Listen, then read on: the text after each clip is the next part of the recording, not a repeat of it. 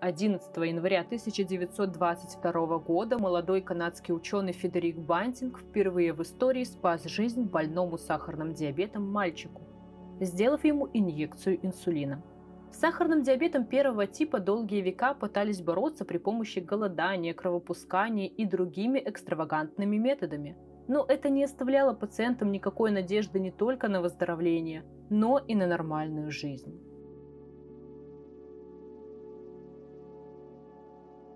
Что же такое инсулин?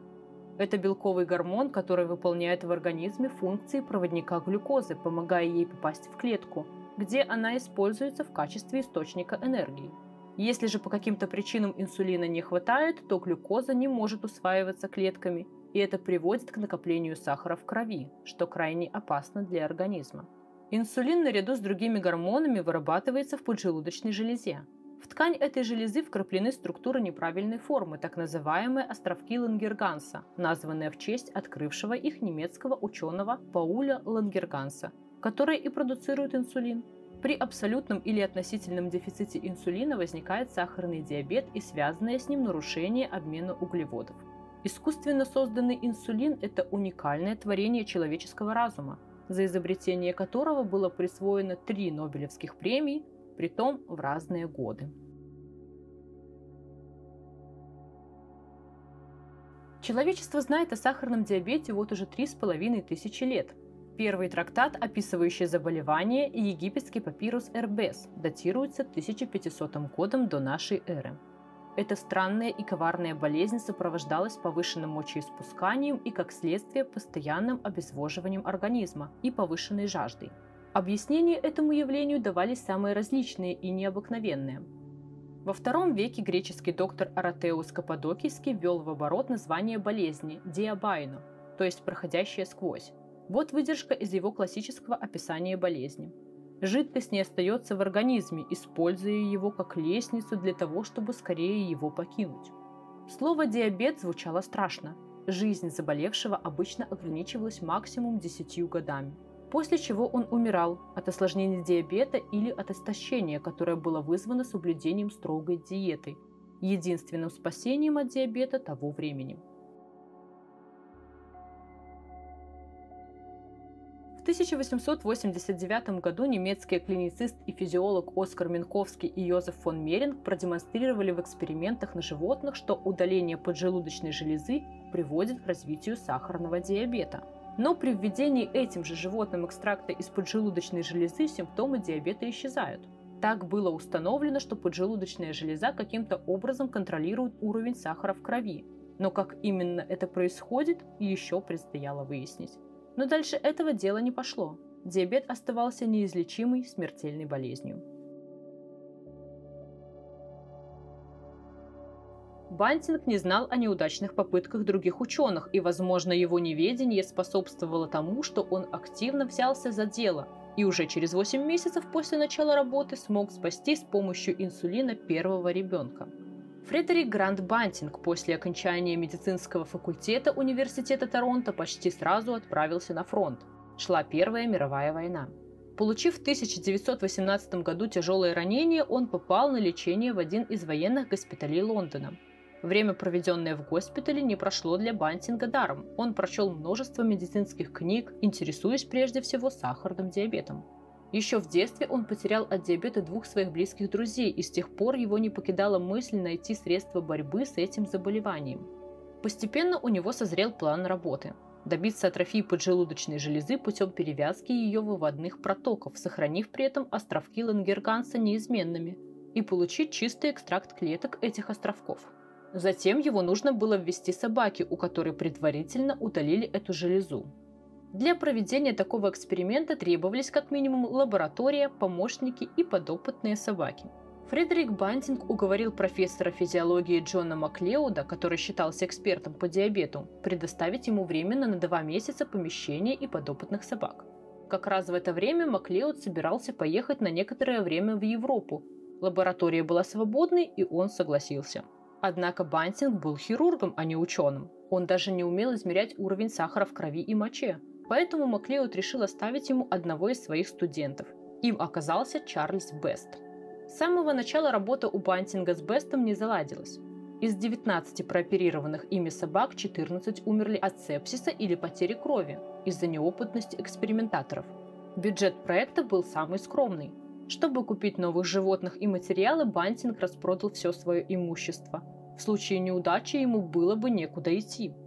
И вот наступил долгожданный день триумфа – 27 июля 1921 года – Собаки с удаленной поджелудочной железой и находившиеся в прикоме ввели экстракт атрофированной поджелудочной железы. Уже через несколько часов у собаки начал снижаться уровень сахара в крови и моче и исчез ацетон. Затем ей ввели экстракт во второй раз, и она прожила еще 7 дней. Она, конечно, прожила бы и больше, просто у исследователей закончился запас экстракта, в дальнейшем Бантинг и Бест начали получать экстракт из поджелудочной железы быка, и теперь количество инсулина хватало на то, чтобы поддерживать жизнь другой подопытной собаки до 70 дней. Когда хозяин лаборатории вернулся из отпуска, то узнал, что экстракт из островков Элангерганса одной из собак снизил уровень сахара в моче собаки с удаленной поджелудочной железой. Маклеуд раздумал выгонять Бантинга из лаборатории и придал ему в помощь для очистки экстракта биохимика Колипа – который очень быстро добился хороших результатов. Вещество, которое было выделено из поджелудочной железы собаки, Маклеод впоследствии предложил переименовать в инсулин от латинского «инсула» – «островок». Сначала Бантинг и Бест испытали полученный инсулин на себе. В результате введения препарата оба почувствовали слабость, головокружение, но никаких токсических эффектов препарата отмечено не было и первым пациентом с диабетом, получившим инсулин 11 января 1922 года, стал 14-летний мальчик Леонард Томпсон. После первой инъекции инсулина никаких существенных изменений в состоянии пациента отмечено не было. Ослабленный болезнью организм отреагировал на инъекцию сильной аллергией. Выяснилось, что инсулин не был достаточно очищен и лишь незначительно снизил уровень глюкозы в крови и в моче и спустя 12 дней инъекцию повторили очищенным инсулином, и в ответ на нее у пациента нормализовался уровень глюкозы крови. Он прожил еще 13 лет. Также одной из первых пациенток, получивших инсулин, стала дочь главы Верховного суда США Элизабет Хеггис Госсет. Удивительно, что до начала терапии инсулином у нее был сахарный диабет уже 4 года, а лечение, которое позволило ей дожить до этого дня, заключалось в жесткой диете – около 400 килокалорий в день. На терапии инсулином Элизабет прожила до 73 лет и родила троих детей. В 1923 году Бантинг и Маклеод получили первую Нобелевскую премию за изобретение инсулина, которую честно разделили с Колипом и ассистентом Бантинга Чарльзом Бестом. В Торонто, где проводились исследования, сразу же съехалось множество больных со всего мира – каждый мечтал о спасительном уколе. И в том же 1923 году фармацевтическая фирма Eli Lilly Company приступает к промышленному производству инсулина под торговой маркой Илитин, но праздновать окончательную победу было еще рано.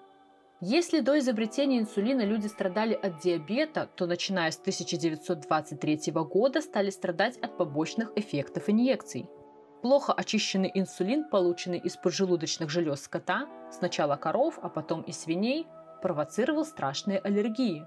Кожа вместе укола начинала гноиться, появлялись болезненные утолщения. К тому же инсулином пытались лечить диабет и первого, и второго типа, хотя механизмы их абсолютно разные. В одном случае железа перестает вырабатывать инсулин, а в другом выходит из строя средства его доставки. При этом диабет первого типа встречается лишь у 5%, 95% приходится на тип 2. Во втором случае нужны другие препараты, сахароснижающие. Но об этом пока что не знали. Только в 1936 году датскому ученому Гансу Хагердену удается получить инсулин пролонгированного действия. Изобретение Хагердена позволило сильно уменьшить количество инъекций. А сахароснижающие таблетки, помогающие бороться с диабетом второго типа, появились лишь в 1956 году.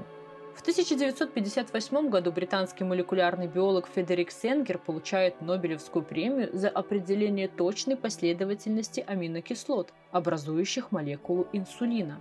А спустя некоторое время очередная инсулиновая Нобелевская премия достается британской даме-химику Дороти Мэри Кроуфорд Ходжкинс. Она сумела описать пространственное строение молекулы инсулина. И только в 1978 году с помощью генной инженерии получен первый человеческий инсулин. А в 1987 году начали синтезировать человеческий инсулин в промышленных масштабах и практически в неограниченном количестве. Железы животных для этого больше не требовались. Лекарства стали готовить с помощью дрожжей.